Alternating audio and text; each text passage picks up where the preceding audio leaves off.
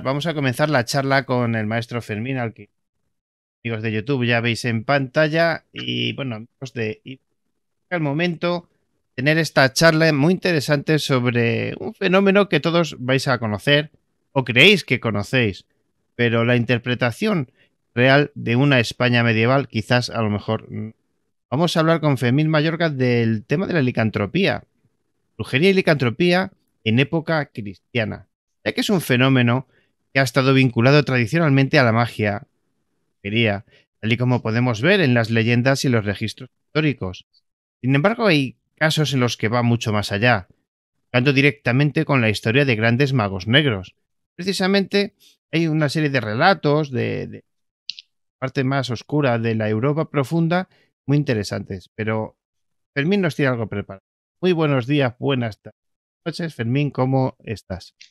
Hola, ¿qué tal? Muy buenas, bien, estupendamente. Aquí en un rinconcito de mi casa intentando llevar a cabo esta misión que yo creo que va a ser interesante porque sin duda alguna los oyentes em, habrán oído hablar mucho del hombre lobo, pero siempre desde la perspectiva que se nos ha contado eh, de algún, el Roma Santa arriba y abajo, el tema de las películas que se han hecho del mismo, el tema del vídeo de Michael Jackson, etcétera, etcétera. sin embargo, pues em, la, historia esconde cantidades, sobre todo en España, no, no, no hay que trasladarse fuera, esconde eh, cantidades de documentos donde se te habla de licantropía, se te habla de personas que se transformaban en hombre lobo y sobre todo porque esa creencia de alguna manera venía dada porque desde los púlpitos, desde las iglesias, eh, se trasladaba ¿no? a la mente de los lugareños, de los parroquianos, la idea de que la bestia de la Apocalipsis realmente estaba entre nosotros y que precisamente aquellas personas que abrazaban el mundo del demonio, el mundo del diablo, como las brujas, los brujos, etcétera, los propios hechiceros, eh, eran gente que de alguna manera iban de la mano de la bestia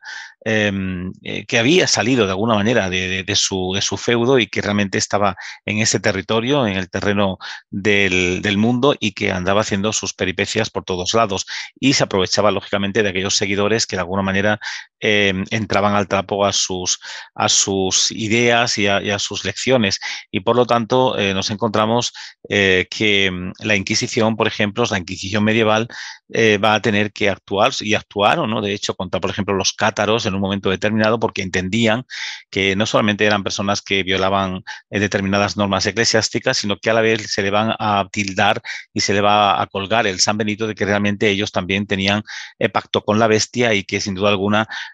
el demonio eh, vivía y, de alguna manera se adoraba dentro de sus recintos. Igual hicieron con los propios templarios, ¿no? Y esta creencia de que inclusive estas personas realmente podían llegar a, a, transformarse en hombres lobos y preparar aquelarres y hacer aquelarre junto a las brujas de la época, pues era algo que, llegaba, llegaba a la gente y servía de alguna manera de acicate para que el pueblo realmente acudiese denunciando aquellas, aquellos movimientos o aquel, mm, aquel tipo de, reuniones nocturnas que a veces hacían determinadas eh, mujeres y determinados hombres en un determinado campo, donde se ponían a bailar y que mm, eh, no en vano no solían ser, ni mucho menos Em, bailes que guardasen una relación con el mundo brujeril, ¿no? A lo que la gente eh, comenzaron a llamar, a llamarle pues el, el, aquelarre, ¿no? Sino que muchas veces eran festividades que se celebraban por parte de determinadas personas, porque era una tradición que se había perdido y había gente que las mantenía, pero también como en época medieval eh, era muy, muy usual, como también en, en época más moderna, ¿no?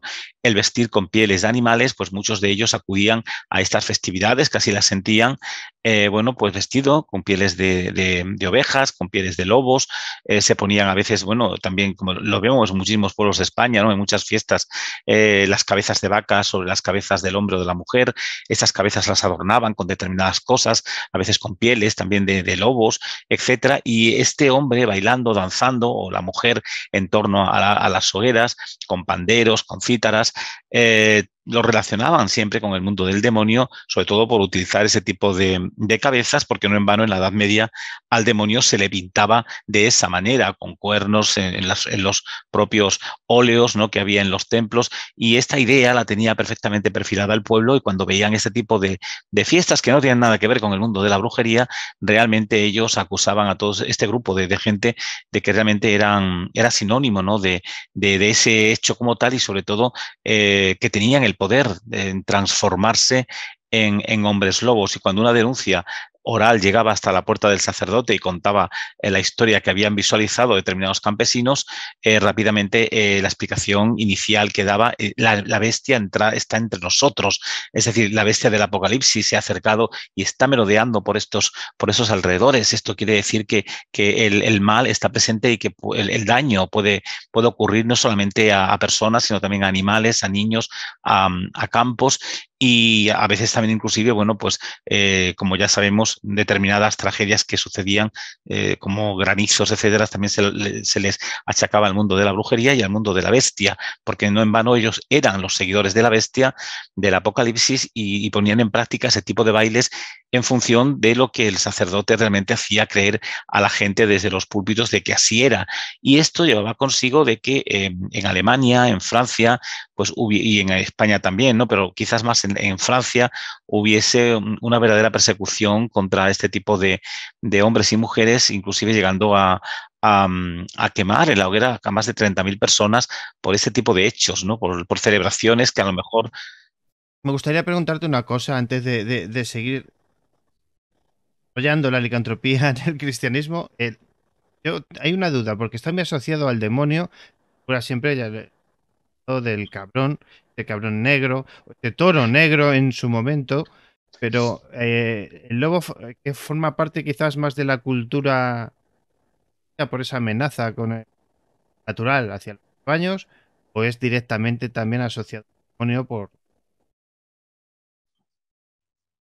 Hombre, eso va en función de cultura, es decir, en Roma el lobo no estaba tan mal visto, de hecho eh, adoraban a una loba, es decir, Rómulo y Remo amamantó una loba y, hay, eh, bueno, pues estatuas por todos sitios. Aquí en Emérita Augusta, en Mérida, pues tenemos una, una loba con Rómulo y Remo pues de, la época romana, ¿no?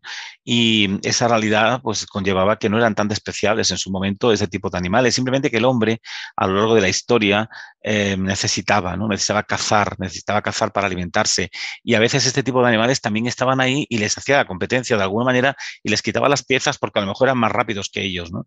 Entonces la lucha del hombre contra el lobo ha sido siempre una realidad em, eh, que no se ha podido frenar porque ellos querían de alguna manera ser los que realmente tuviesen el control sobre la pieza y no el lobos, porque ahí en, ese, en este caso ellos podrían de alguna manera eh, dominar al hombre ¿no? en ese terreno en concreto. De ahí que las cacerías de lobos fuesen más permanentes y hasta acabar con ellos prácticamente como vemos en, la mayoría de, de, las zonas de España.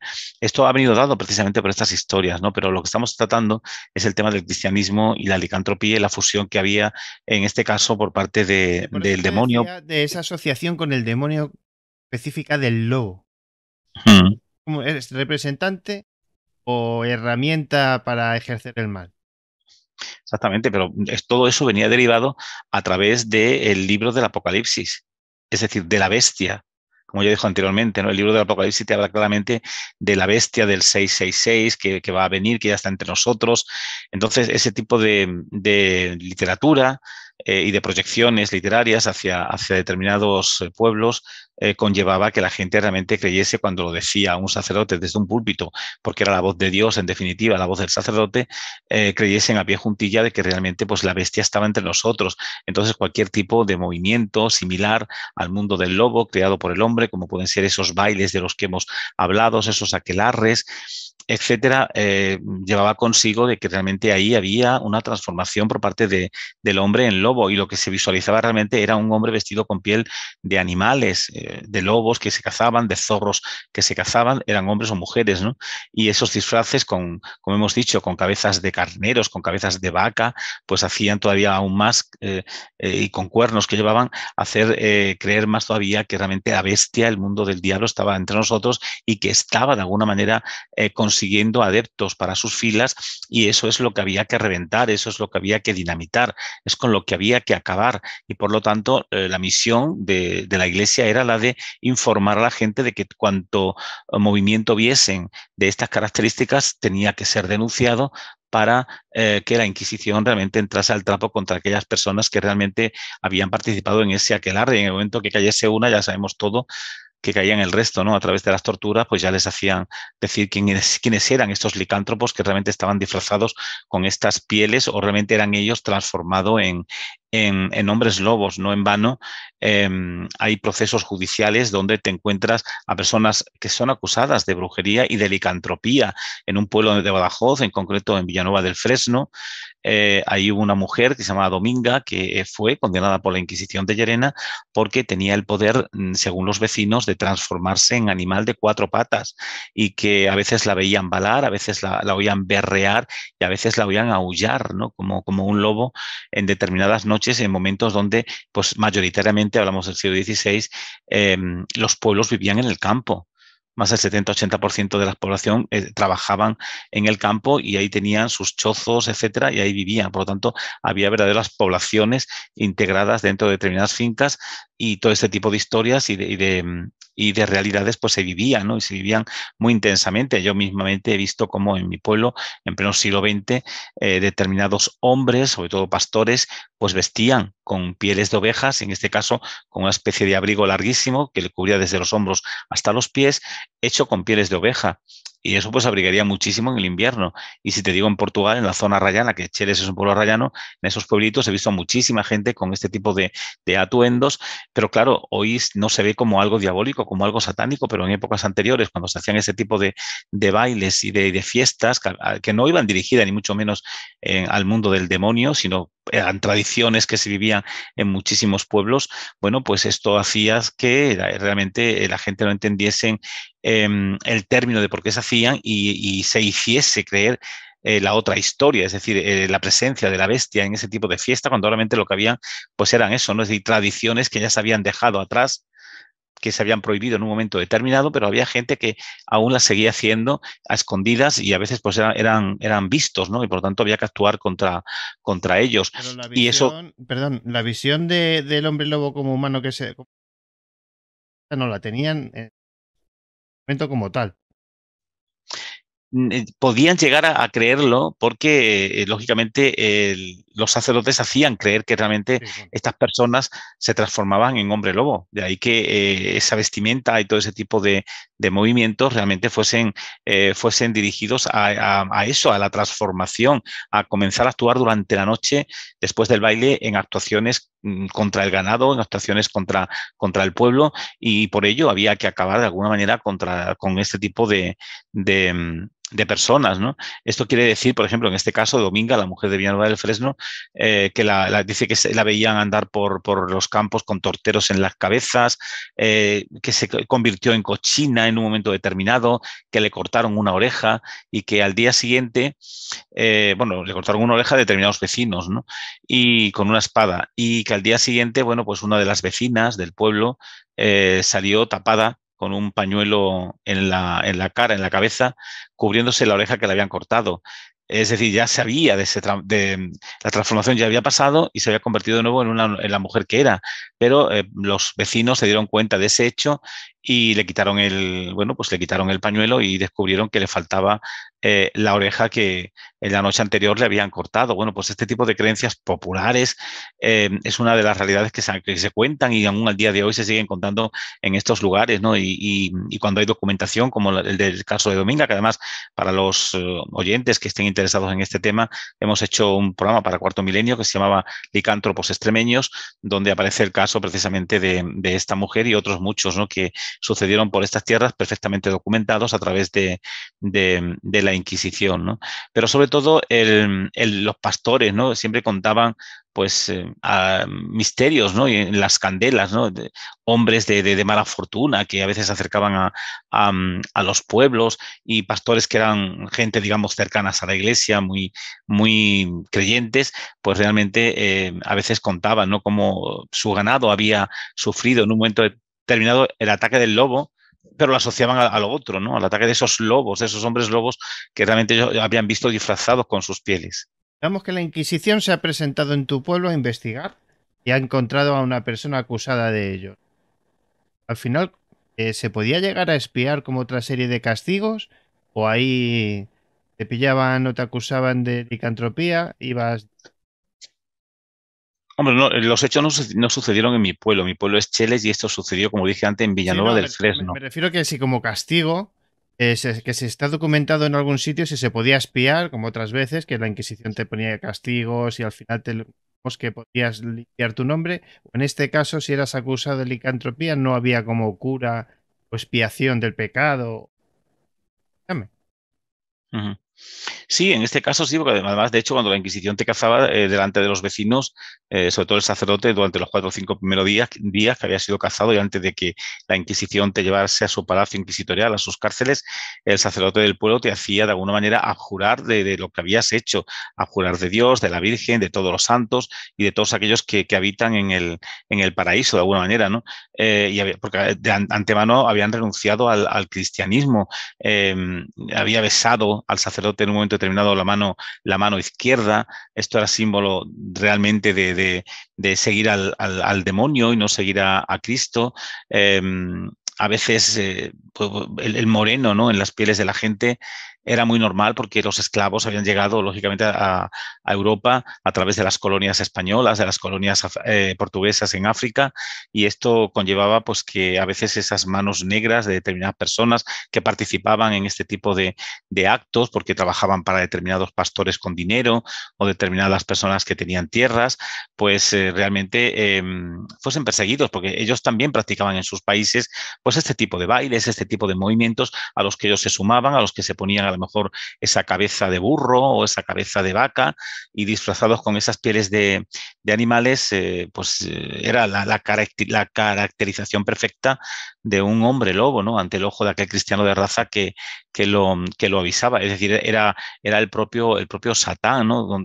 Donde en momentos determinados a lo mejor se arrodillaban ante, ante el fuego, eh, las, entendían que era una adoración, sin duda alguna, al, al, demonio y esto hizo que bastantes personas aquí en, España en concreto pues fuesen realmente eh, condenadas por la Inquisición por el mero hecho de, de, tener el poder de convertirse en, en, hombre lobo. En definitiva, se quería acabar ¿no? con el mundo de la superstición, de las idolatrías a determinados seres, etcétera. ¿no?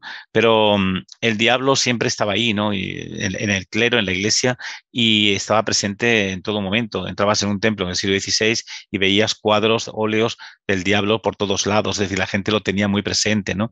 Eh, Dios estaba muy presente, Jesucristo estaba muy presente, pero también el diablo, porque el bien no podía estar solo, el mal también tenía que estar presente para que conjugase y tuviese sentido toda esa realidad del mundo del, cristianismo, ¿no? Ya, ya el propio Jesucristo fue tentado por el demonio en un momento determinado y esto conllevaba que esa realidad también podía perfectamente pasar en, en la tierra y este tipo de, fiestas, de, momentos, pues eran los idóneos para que realmente eh, se pudieran acusar a determinadas eh, personas por ello, ¿no? Pero mmm, en, en, unos viajes que sucedieron precisamente en un lugar de España, en concreto en, en Vizcaya, eh, ahí eh, hubo un caso de una determinada persona que en un momento determinado eh, se abalanzó em, con sus dientes, según cuenta el documento, con sus garras, em, sobre, un, sobre un niño pequeño de unos 6 o 7 años, dice el documento, con la intención de devorarlo.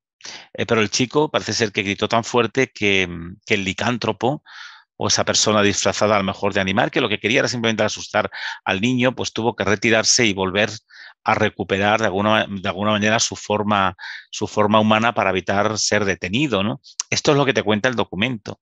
Pero muchas veces, y eso lo vemos en fiestas populares hoy en día, en muchísimos pueblos de España, donde a veces las, las botargas ¿no? pues van disfrazadas con este tipo de trajes eh, con, con, cabezas de toros, con cabezas de, de carneros. Mismamente, por ejemplo, en, la, en, Extremadura, en las urdes, tenemos eh, este tipo de, de, fiestas que las carantoñas, por ejemplo, ¿no?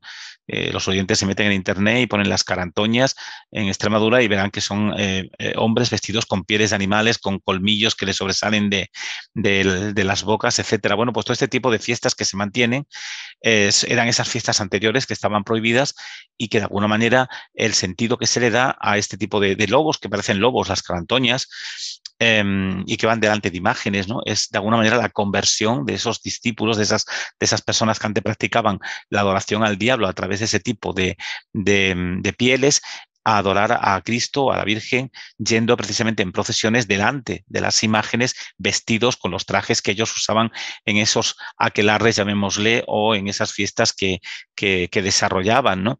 Creo que esto es interesante eh, para, para, saber de dónde procede también toda esta temática del mundo de los, em, de los hombres lobos, porque a veces también la rabia, la rabia era, algo que formaba también parte de, de, la realidad. Es decir, es decir, cuando alguien era mordido por un perro rabioso, ya lo hemos contado aquí alguna vez, ¿no?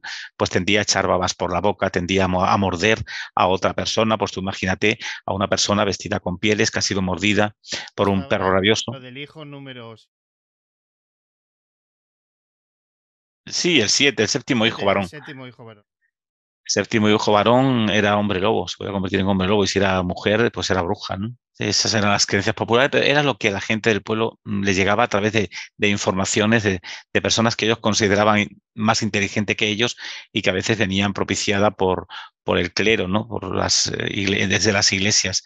Em, y a partir de ahí, pues te encuentras también casos de, licantropía donde, eh, bueno, el, el, hombre tiende, ¿no? De alguna manera a, mm, no solamente ya atacar a un niño, como hemos comprobado en ese tema de Vizcaya, sino inclusive a, veces a, violar, es decir, disfrazado con ese, con esa, con ese atuendo ¿no? de, hombre lobo, eh, a, balanzarse sobre una, sobre una joven con la intención de, abusar de ella. Y en pleno siglo XVI esto estaba muy perseguido y hubo muchos casos de personas que para no ser mm, reconocidas eh, se disfrazaban con ese tipo de, elementos y con esas caras de animales eh, y claro, cuando realmente esto sucedía, rápidamente la gente lo que entendía es que el ataque hacia esa mujer había sido el ataque de un hombre lobo. En este caso no era la Inquisición la que iba a actuar, el tema iba a ser mucho más grave porque ahí ya entraba en juego la justicia civil porque hablamos de violación. el tema de la violación, eh, la Inquisición no tenía poder para, para castigarlo, pero sí el tema de la superstición.